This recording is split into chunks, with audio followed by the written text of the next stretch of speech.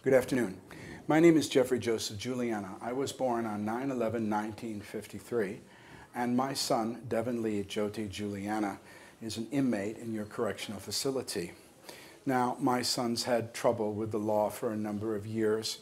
Um, I am his father, and in my opinion, having lived through this entire drama with my son, who I love very much, um, started when he was about four years old and was brutally mauled by a Doberman pinscher, which literally almost took his head off.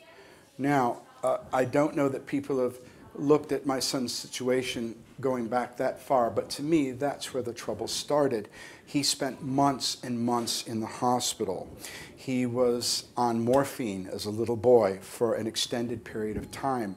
They did experimental surgery on him with nerve transplants taken from his leg, put into his neck, and he still has not full function of his face. now, what has this got to do with him going on later to become a repeated drug offender, and I think quite a lot. Uh, first of all, the trauma of that thing. Uh, I mean, uh, there was an infection when they closed up the wound, um, uh, which, which almost caused him to die.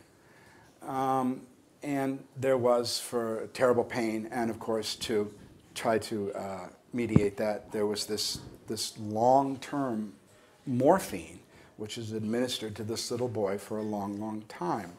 Now, in those days, we were living in Toronto, and, and financially things were not great, but a kind of a business miracle happened. I became very, very successful as a writer internationally. And what did that do? took, out, took about just about all my time from my family in order to take care of my family. Now, this is something that comes up with a lot of businessmen but in my particular field, excuse me, I had to be locked away in a room basically alone to uh, work on this very, very intense, you know, writing work or go off to another country somewhere to promote it. And this didn't leave a lot of time for attending science fairs or baseball games or functions. Certainly, I took care of my family and loved them very much, but I didn't have a lot of personal time with them. As my son became a teenager, uh, there was, of course, the inevitable um, acting out of young men trying to find their own way in life, and the people that he was hanging with in the small town in western New York outside of Buffalo weren't always the best people. Now, does that mean that my son is blameless or faultless? Not at all. I've had many discussions with my son about uh, the way he's conducted his life over the past few years, the terrible price that he's paid, uh, the things that he's done to his family, the price that I've paid, never having ever done one of these drugs. but there is a point, uh, and I, as a father, knowing Devin perhaps better than anyone in the world, comes when you realize that maybe enough is enough. And that from what he tells me and from the way I feel about what he tells me, perhaps more importantly, I think my son has seen the error of his ways by the amount that he's suffered and the price that he's paid to get where he is now, which is sitting in a prison cell. I don't know the concomitant amount of years that my son has spent in jail. I suspect it's well over five. That being said, he is a nonviolent drug offender. His offenses, from what I know, include buying and selling drugs. Now, that's clearly illegal, and there is an appropriate punishment which has been exacted by the state just for that series of infractions. But I do make the point that my son has never been violent, and that in talking to him and communicating with him just recently, over the last few months, I see a great change in Devin. He told me it's just, as far as he's concerned, it's over. And he's not going to engage himself in these kind of antisocial, illegal, unlawful, and immoral uh, activities any longer. He's too old. He's paid a price. His family's paid a price. His children have paid a price. And it's just not the thing to do. Now, in reference to the character of my son, he's extremely intelligent. He is, if he had yet applied himself in a more productive way, probably the best salesman that I've ever seen in my life. That doesn't mean he's a liar. It doesn't mean that he's a psychopath. it means that he's darn good at selling. And as I say, if he would and could come out of prison and uh, pick up some kind of business um, uh, profession, and he is a natural businessman. Uh, as am I, but per, I think even he exceeds my own ability uh, in reference to uh, convincing people um, of the value of a product. And uh, unfortunately, it was the wrong product. Um, so, uh, without taking up too much of your valuable time, I would just like to say that my son has now been in prison for over two years for this particular uh, infraction, uh, and um, I have seen a very positive change in him.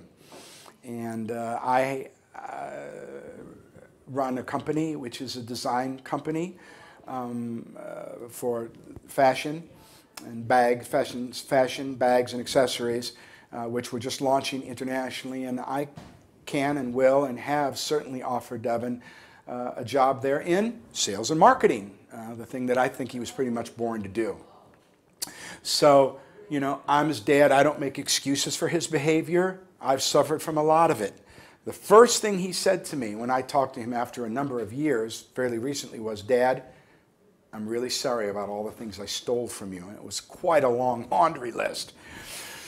But, um, you know, uh, although the state has a duty to protect itself and its citizens from uh, these kind of, uh, uh you know, people with these kind of uh, dubious agendas, I know that there's also room for um, people to reform themselves and to turn over a new leaf. And I believe sincerely, of course, I don't want my son in prison, but I'm not here to lie or put out a phony alibi for him with all my heart and with all the truth that you know I can muster and all the love that I have for my son, I'm a responsible person, businessman. Now I'm 59 years old and I have, I have no criminal record of any kind. Um, I've never had any addictions, uh, and uh, you know I'm a fairly straight shooter. And uh, he needs to cowboy up, step up to the plate, and accept responsibility for what he's done.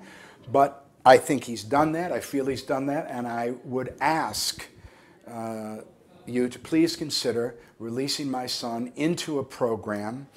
Uh, uh, whatever, I, am sorry, I'm not familiar with, you know, actually the way that the, the, mechanisms of how this might work, but to release my son and give him another chance to enter society and uh, try to be uh, entirely more reasonable uh, than he has been in the past. He has it in him.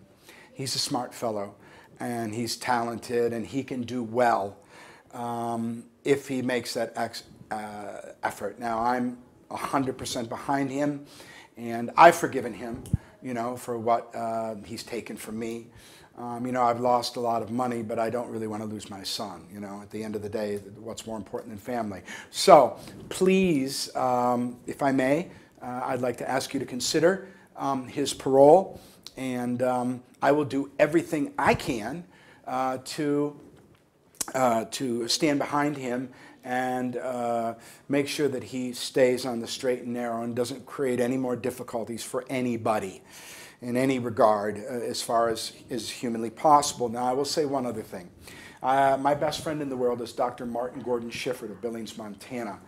And Marty, and Marty and I are very, very close friends, and for decades and he is a very well-known, respected physician. I've talked to Marty yesterday, and I asked him, would you be able to uh, enter into some kind of uh, mm, mm, uh, practice of, of, of monitoring uh, Devin's mental and kind of physical welfare when he gets out.